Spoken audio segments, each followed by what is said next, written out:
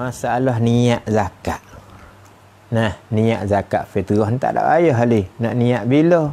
Semalam kita wui keterangan dah. Emo kita niat tengah-tengah duk suka. Emo kita niat sudah suka jadi segate. Kita pun pergi di catung berah atau holo tangan di berah ataupun tak ada pergi tak apa. Situ tak apa. Niat. Niat kata rana kalau bagi hak kita kok zakat kita. Kita kata satu gate ini berah zakat fitrah bagi aku yang wajib di atas aku. Ataupun bubuh ini zakat fitrah yang wajib di atas aku. Tak apa lah. Ha tidak tu hak kita.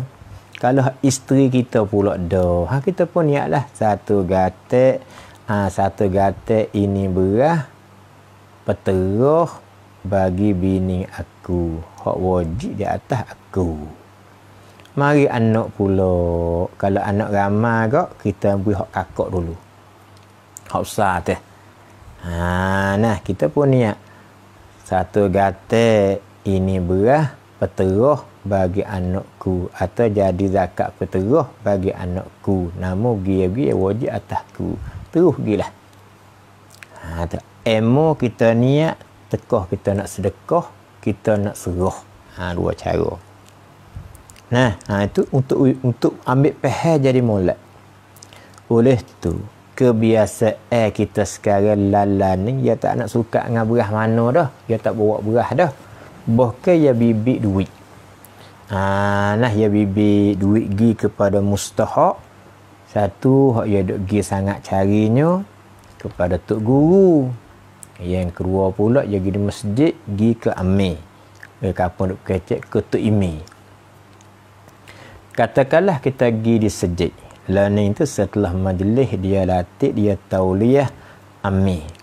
Ha, seperti mana di antara qadis syar'i, daruri, dia latih ya tak aku tauliah.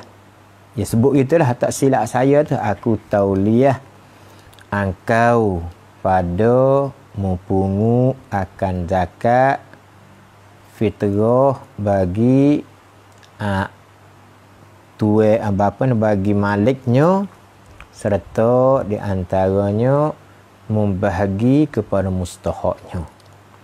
Ah itu ya talih makna kata kerja kita sebagai amil satu sebagai hipung zakat fitrah serta pula malam tu pakat kerja bahagi we habis zakat orang. Bukan untuk ambil kita.